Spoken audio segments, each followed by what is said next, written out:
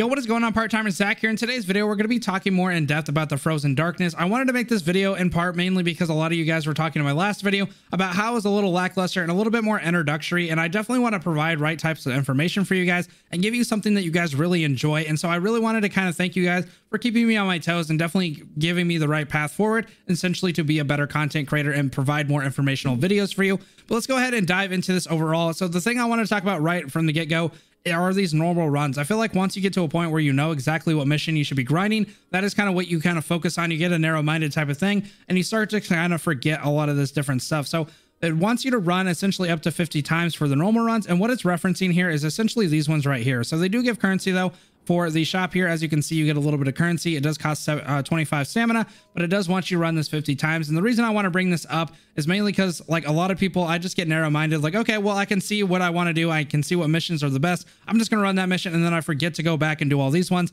And then I end up missing out on rewards. So that's just something I kind of wanted to bring up. So you can kind of do it however you want. If you're like me, I'm probably just going to do it at the beginning so I don't have to worry about it later. But if you definitely have better time management than I do, you can do it at a different point definitely towards the end of it if you prefer, but it's up to you guys as well. So as you want to kind of work through these challenges here, now, it does have the same requirement for these. You want to do these about 50 times. However, the reason I don't really mention it very much is because you're probably going to run C5 more than 50 times, I imagine. So it's probably not going to be that big of a deal in comparison to something like the normal runs. Let's go ahead and talk about this. So this is essentially like a buffed version of the resources for your memories. You're able to run this stage and get some different things after clearing eight times. You're guaranteed a six star, and then you have a certain percentage chance there, as you can see, for your six star just from run or normal runs at any time before the actual eight times. So as you can see, though, you actually have some chances to get quite a bit of memories and some six stars as well. And then you can also do the currency for the shop. So this is kind of why it's more bang for your buck than say, for example, AE4, because you're only able to get the memories from AE4. And so this is going to give you that currency as well. And it costs 30 stamina.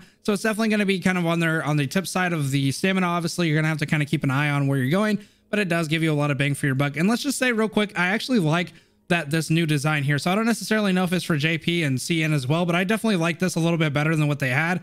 I think it's a lot cleaner. That's just something I noticed whenever I first seen these.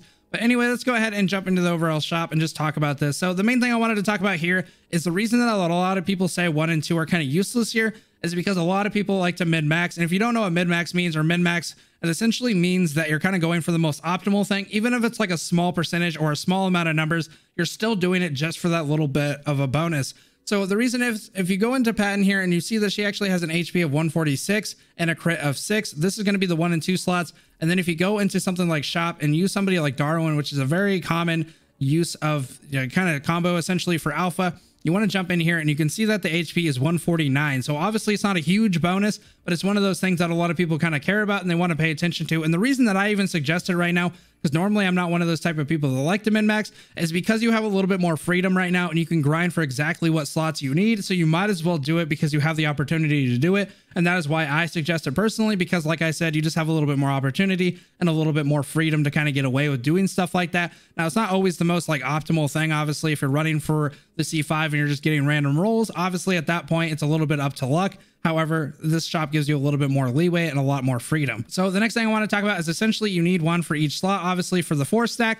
But the thing is, a lot of people don't realize that they actually need two more for resonance. So it's going to make a lot more sense. Let's jump into a memory here, just a random memory. Doesn't really matter. Let's pretend this, this is Patton right here. And then you need two more Pattons essentially for the resonance. And that's why it's going to be a grand total of 12 when you factor in every single slot that you actually need to get. So for example, three through six, you need one of the base unit, and then you need two more for the resonance. So that is a total of 12 when you go all the way to your sixth slot here. So as you can see, it is quite a lot of stuff. And then I did factor in Cam for the fact that he's free to play, essentially, if you're able to get him from the event and grind for him as well. So the currency for everything that I kind of recommend in the store anyway is going to be 8,850. So that does include Cam. That includes your entire set here for all the way to six, and then all the dupes that you need as well. So that is just what I kind of factored in or what I feel like is the most important. So that doesn't take into account something like the frog accessory, which may be very important to some of you guys, but just something that I didn't really factor in when it came to the grand scheme of the totaling essentially. But a lot of this stuff is really important and you kind of want to check out as well. But as far as I'm concerned, this is the most important stuff that you really want to grind for. So 8,850 there is definitely going to be the total that you're looking for. Alrighty, so that's going to be it for the shop. I do want to quickly talk about co-op since it is open. I did make a little bit of a misprint last time I talked about this is because I actually thought that this would be going on when the other co-op, it actually takes over the other co-op but your runs, any runs that you actually did during the other co-op actually transfer to this one because they do use the same kind of ranking system here on currency. And you can actually do the same thing as I was talking about in my co-op video. You can actually create a room, run it by yourself, run it on the nightmare mode and kind of do that if you don't want to have to worry about stuff, especially if you want to play as alpha, because it's going to be very, very hard during this event to play as alpha in co-op because everybody wants them and you can't play as the same character. So just a recommendation, if you want to try out Alpha and you want to kind of go against her in Rosetta, make sure to grab the different room for yourself and then go to Nightmare mode once you get her to your certain BP. You can definitely try if you want to, to go up in the rankings. It's definitely up to how much BP you have. From what I understand, it is a little bit higher, obviously, because it starts out at 2,800 and then it goes to 3,600. So I could